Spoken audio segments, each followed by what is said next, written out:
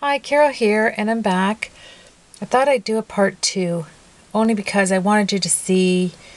I I hate putting a card up, you know, with with most of the pro most of it finished, but you didn't get to see the process. So, um, what I did was I cut out a piece of baby blue cardstock and I distressed the edges with some Tim Holtz Distress Salty Ocean, and I picked out some craft cardstock here and I vintage photoed the edges and this is going to be on top of here. I just want a small amount of this showing.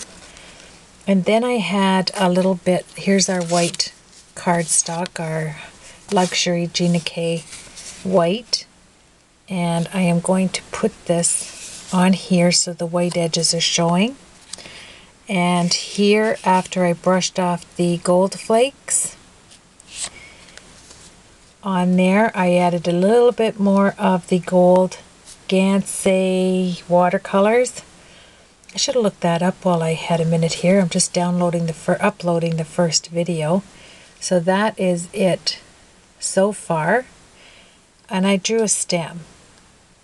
And um, I, I tested this out. I want to do the leaves see-through on here. And then I took a piece of gold. I'm going to put down the side here. Not sure where yet, but this is gold glitter paper.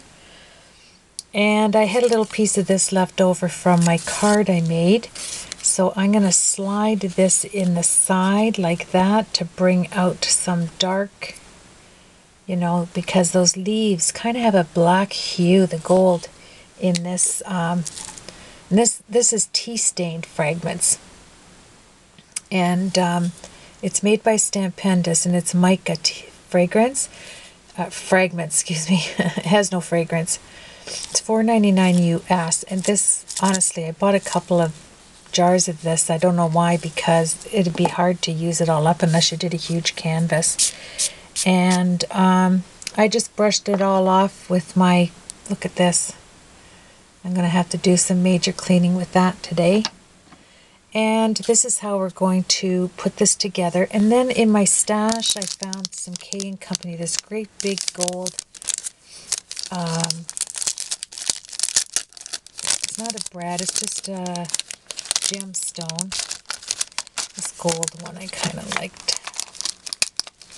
And I'm going to pop that, whoops, something just fell right in the center like that.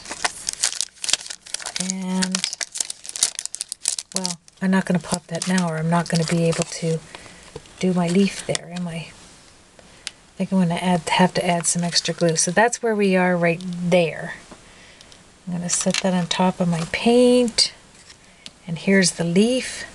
And I took out my color box pigment gold for the leaves. And I think that works out well. And then I'm going to use that midnight black embossing powder. And I, I get my vellum now at our uh, stationery store. And this is called painted uh, sea glass painted vellum. Isn't that gorgeous? See all the hues in there? It has all different colors. I picked up a couple in each color, and it's a nice, sturdy, thick vellum. And how you can't get any sweeter than that. Look at how they match the blues. Can I get that so you can see the vellum there? And then with the, uh, and I think doing the, uh, using the embossing, uh, excuse me, using your, um, oh, scoreboard, excuse me, your scoreboard and making score marks into the wood grain stamp. You see that? It really stands out. It's really nice. It's a nice uh, card. Turning out to be a nice card. So what I'm going to do is put that in the corner. And I chose the Oh Happy Day from the Stampin' Up! set. I'm going to put that on the vellum. And let's continue to quickly put this together. I'll try to do it in less than my normal time.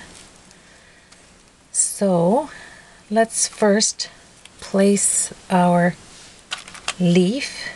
My, I've got that fragment stuff all over my shirt. Okay, So the pointy end, I am going to put, well, let me see here. There's a little bit of that fragment on there. So I have one leaf there, but I think what I'm going to do is give it one more um, pop with the gold. So line it up in your MISTI. Oh, I'm losing my... There we are. There we go. So, I don't think that's good either, is it? Let's push this right up. I have a lot of projects going at the same time here. There we go. So you can see that. So I put it back in the corner over top of where I had it before. That's why I love this thing. And press down. Grab your color box uh, archival gold. Really pretty. And you really have to press on it. Well, this is new, so it's really juicy, but I found going over top of this cardstock. There we are. And let's put it down. Back up. Oh, that's pretty, and it shows the lines in there from the, uh, I like that. Isn't that lovely? So let's take this off. Try and I'm going to clean that up in a second. Make sure your hands are clean and I'm going to set that one right at the bottom like so. Move my MISTI. I might be able to get this one just doing a second generation stamp. Let's see if I can. I'll press and hold it. Awesome. I love that. I'm not doing anything more with that. And if you use the MISTI, make sure that you are using this spray. The Novus Plastic Clean, Clean and Shine. Um, because it will take your grit off your mat if you're using anything else. So lift that up and I'll clean that with some StazOn. You know, it comes out pretty clean, honestly, with just a baby wipe using that color box. Look at that. That's not bad. And then refresh your MISTI. Let me show you that. That second stamping came out beautiful. Okay, so let's close this up. I want to get this uploaded and put together. The funniest thing happened last night. I was um, wanting to put a, I was wanting to do another card, and I took out a set that uh, my friend Janet got me, and it has two little owls in it. And I'm not kidding. I could not find the other owl, and I have a huge garbage bin, and it was three quarters full of garbage. And I thought for sure I swept it in the garbage, and I know most crafters have gone through this nightmare and I had to take twice. I took everything out little by little, microscopically, to find that little owl. And I did it twice, and I could not find it. It wasn't anywhere near my in my craft room. I thought maybe it got stuck to something I was wearing. I mean, literally. And you know where it was? It was on the bottom of this tin because I was doing my colors like I was organizing this box last night. And I went to put it away. My hand went underneath it, and there it was. Oh, I was so thankful. But boy, I should have checked underneath stuff before I started going rooting through garbage. Well, it's just paper, but still. Okay. Excuse me. So let's uh, let's start seeing how this is going to come together. Um, what do I need now? I'm going to, I'm going to leave the camera right there and, uh, oh, oops, maybe. Okay, I'm going to use my Stampin' Up! Fast Fuse. I'm sorry for moving the ca camera. Here it goes again. Just a minute. There we are.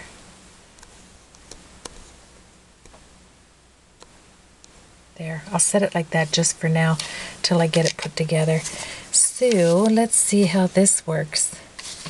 This fast fuse. So I have my base, Gina K Luxury 120 pound cardstock. Love it. And I folded that the wrong way. See how you can tell? It's all jaggedy. You want to fold it opposite to how you um, how you put it in your scoreboard and then you won't get those lines like that. And take your bone folder like that. And I don't want to lose that. I'll put it away right away. Okay so let's start putting this together. So I have the baby blue. I'm picking up this the light blue in here. And that see this is supposed to work well you're supposed to put it down and make a check mark. Okay that's what I'm doing here and let's put this on here. I want it all the way to the top. Well oh it does work well. It's not coming down it's not coming off so make sure you put that on there first time. And then I think I'm can move it up a bit then we'll take our craft cardstock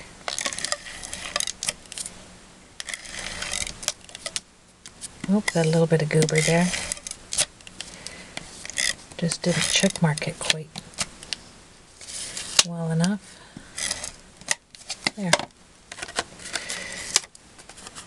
And I gotta think, am I doing anything else to that card? No. No ribbons. No nothing. Okay.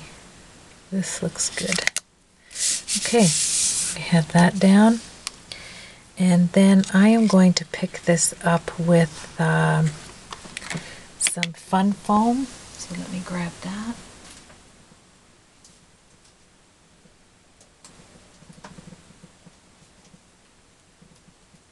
Grab a piece right here. And let's measure this and we will put that underneath.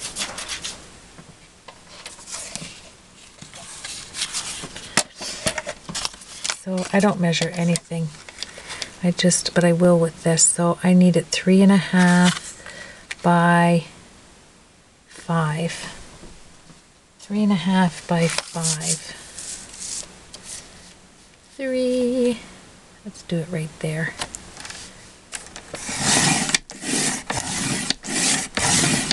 I have to really press in there. Run that through. three and a half.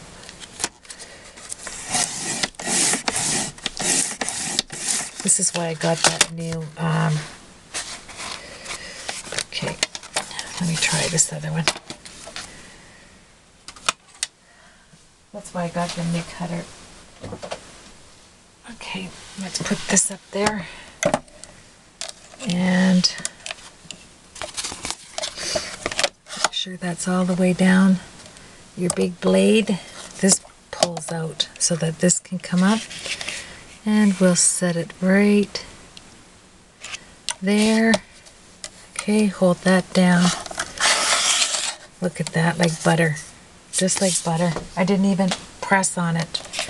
Wow. And then, oh, this has to be all the way down. There we go. And then let's do by five. I'm going to go just under five. Put your flap down, hold it. I mean, that's not even touching it. This is a beautiful, beautiful um, cutter, this Fiskar. I use it for my board, like the hard cardboard. Okay, so let's use this. See if we can peel off the back. I'm still going to add glue. I mean, I'd have to. That's pretty strong. Wow. That's real strong. Let's grab our piece. That little glitter stuff. I still have a few pieces hanging around. Okay, so let's put our fun foam on the back. I saw Jennifer McGuire do this and I thought, wow, that's a good idea. I have tons of this fun foam. There. And that'll pick it up just the right amount on here without using your roll of tape. So let's get some Souquang tape on here and we're almost finished. One. This is really sticky. This is all you'll need. Take your picky tool, Tim Holtz. Called a picky tool for so long I don't even know what the thing is called. Poker tool? No. Pokey? No. Okay. Trying to get between the glue. There we are. There. Okay. This is really pretty. Pretty card. Put it even here. And, oh, I'm glad I saw this. Let me put this on here first. Yes. Is that the right side? Yeah, cardstock has a right and a wrong side.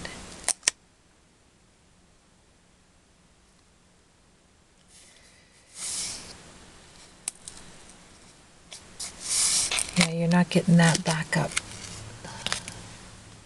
Let me run some. Oh, where's all my glues? I'll use a little bit of the uh, multi-medium in the back of here. Oh.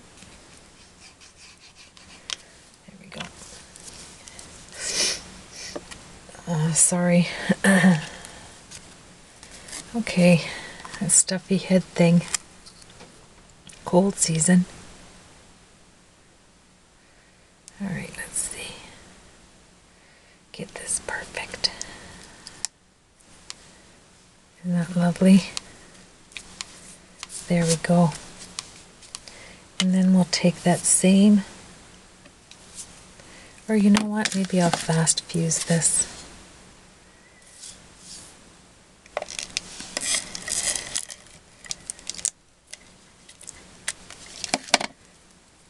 Awesome pull it in.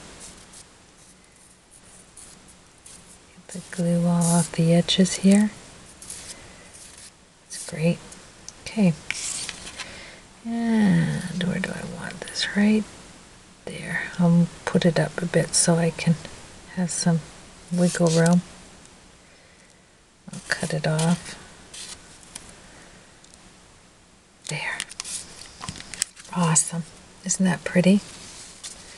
Then take your scissors and it off where you want it. Go this way. There. These are one of the first scissors I bought from Fiskars when I started crafting. Still holding up awesome. Okay, so we have that open and Let's get our vellum.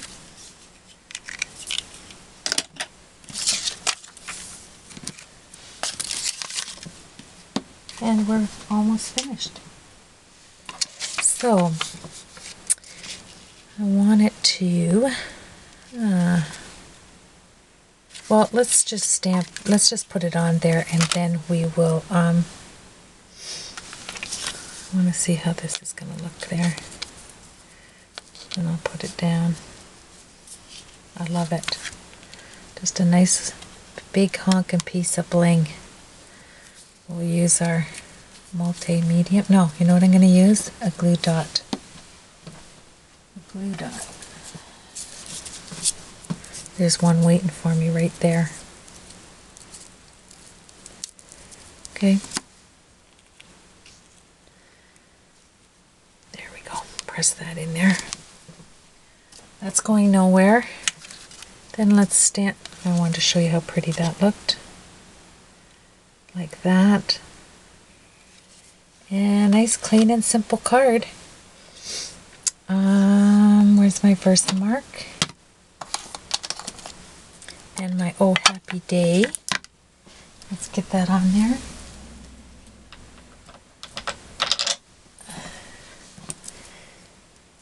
Okay. It's on my block.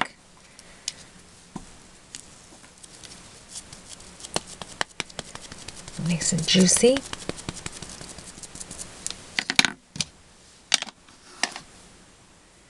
And I think I want it where some blue is, so let's see. I can always cut around it. Let's go right there.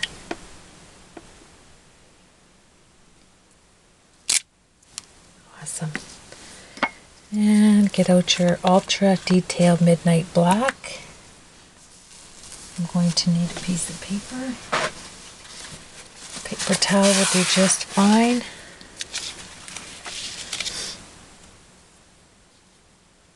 There we go. Oh, I didn't use my baby powder.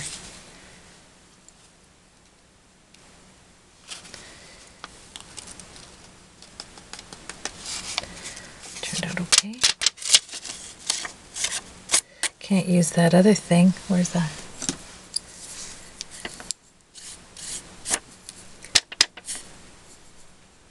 There we are.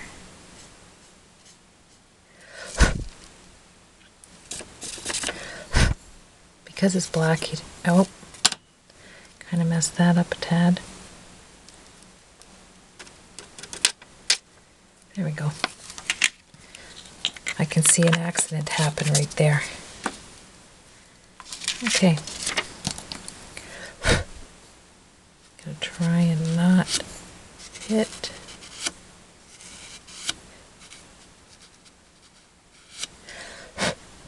There, perfect. Let's grab a nice neat tool. First one I grab. This gets hot really quick.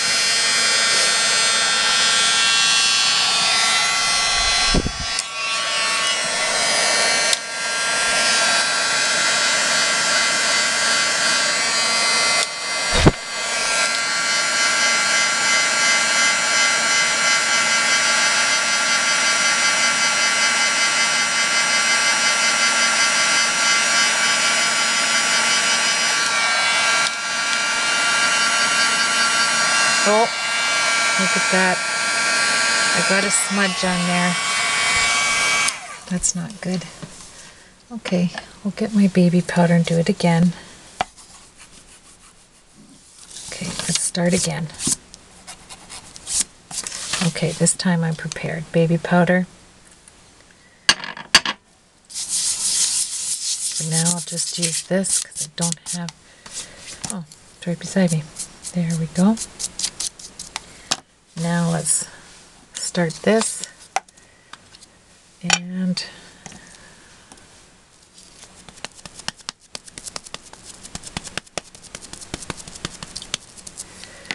use your Versamark again and I'm going to go up and down this time. Okay, whoa, that slid. See what happened there. Lift it up. Yeah, that slid. Oh my. Grab some more baby powder. real time, folks, real time. okay, do this again. That's a slippery little piece of vellum. Okay. Okay, I'm just going to go down and straight up. Oh, Wonderful, wonderful. Now let's bring back our, let's heat this thing up here so it's nice and hot. Bring this back. Wow, what a difference. Just pushing it down and bringing it straight back up.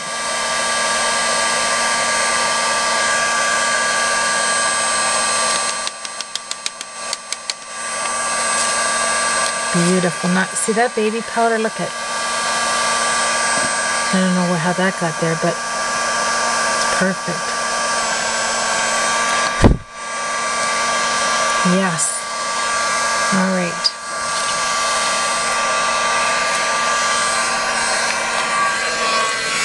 Okay. Turn this over. And this is so hot. I'm going to do it from the back.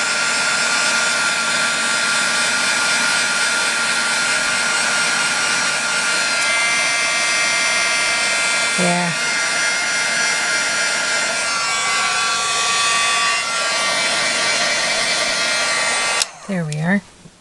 Beautiful. Okay. No matter how hard I try, I think it's because I'm not feeling while I'm moving slow, to move fast. Okay, so how am I going to do this? Let's get our cutting tool back here and we're finished. I've got to figure out how I'm going to do this. I think I'll cut this off right. Pull that up against there. Bring my blade up. Move it right about there.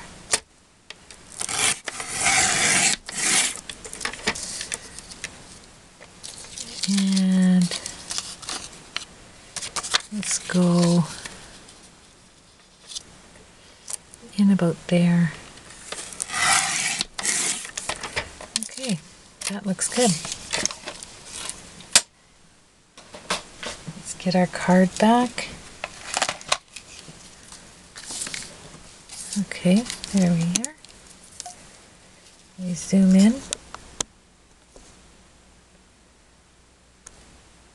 There. Is that too zoomed in?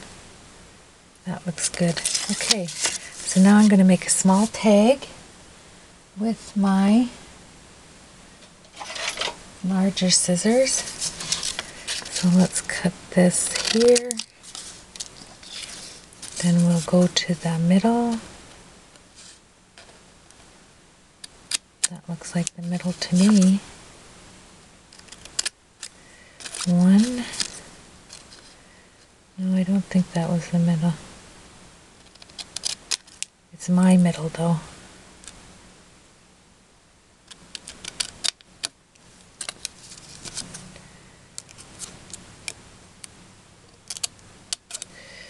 Okay, this is better. Let's try it one more time. Why are we such perfectionists? I mean, person receiving that, are they going to care? There.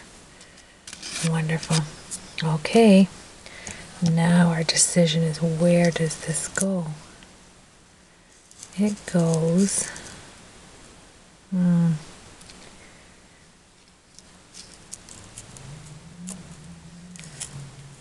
Should it go there? Should I move it up? That's perfect. Got it. I'm going to trust my scissor. Nope, I shouldn't have. There, did it. Okay, let's get some. There's a certain runner that I have that does not um, show the. I think it's this one actually. I'm going to try this. I could use glue dots, but I'm going to try this because I think this is pretty good. Yes, this was it. So let's get that up in the corner like so. Then you can add a glue dot or whatever if you want underneath there. I kind of like it up a little bit. And we are finished. Oh no, we're not.